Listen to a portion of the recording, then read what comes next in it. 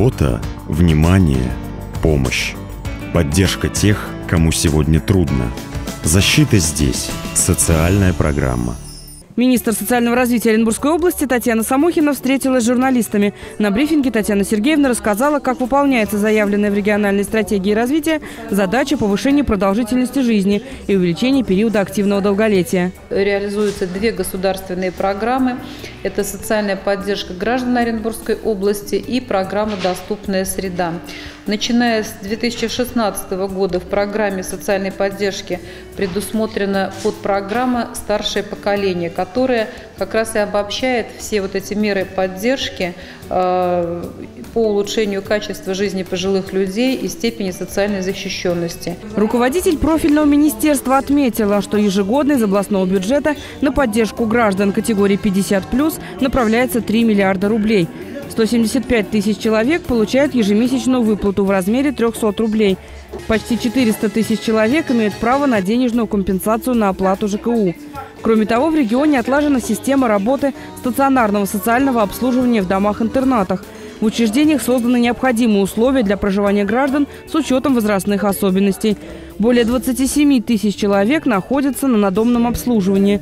Развиваются стационарозамещающие технологии, в частности, приемная семья для граждан пожилого возраста и инвалидов.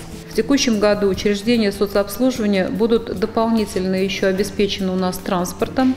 Э, мы закупаем 15 э, автомобилей, из них 8 для перевозки маломобильных граждан и э, легковой транспорт также для работы с нашими гражданами. В регионе формируются новые подходы в работе с людьми серебряного возраста. Развивается движение по овладению современными технологиями. Оренбургские пенсионеры впервые успешно выступили во Всероссийском чемпионате по компьютерной грамотности. В учреждениях соцобслуживания населения области действует 176 различных клубов и кружков. Внедряются инновационные проекты в сфере экотуризма, социального туризма, спортивно-оздоровительной программы. Татьяна Самохина поздравила тех, кому за 50 с Днем пожилого человека. Конечно же, хочется поздравить всех жителей Оренбургской области, которые перешагнули вот тот рубеж, как мы всегда говорим, 50 с плюсом.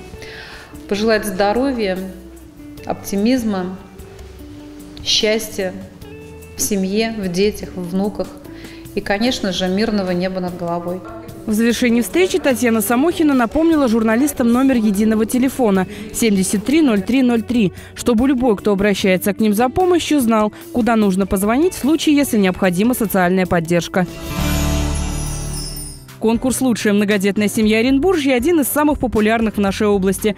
В этом году он проводился в 12 раз. За 11 лет его существования в нем приняли участие свыше двух с половиной тысяч семей. Они все делают вместе, пишут сценарий, репетируют, стараются, чтобы было интересно всем – и жюри, и зрителям. В разные годы победителями конкурса «Лучшая многодетная семья» становились Косенко из Оренбургского района, Стручкова из областного центра, Кожеватова из Орска. Успех, признание, награды.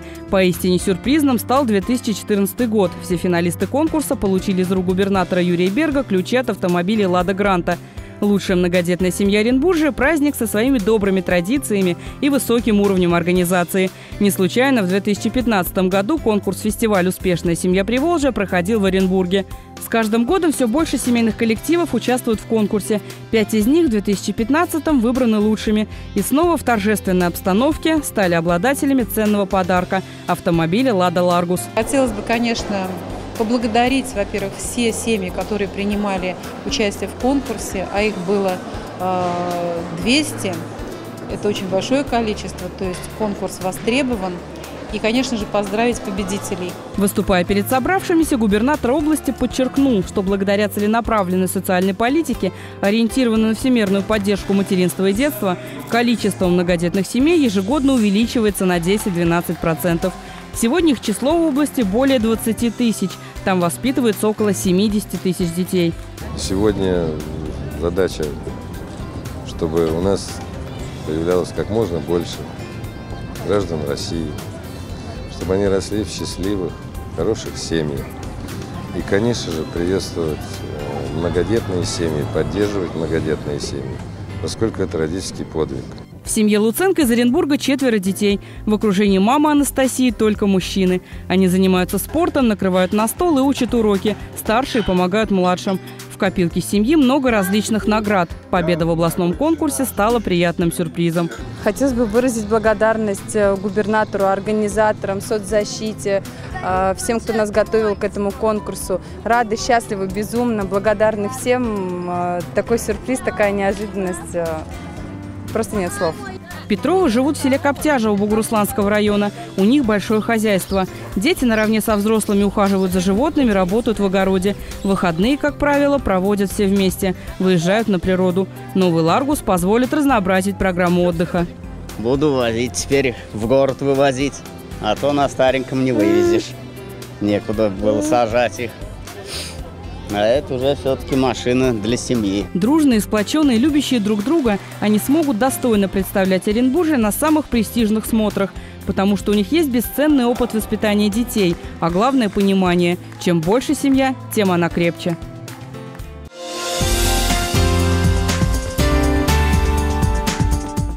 Спорткомплексе Оренбуржье состоялась областная спартакиада людей старшего поколения «Спортивное долголетие».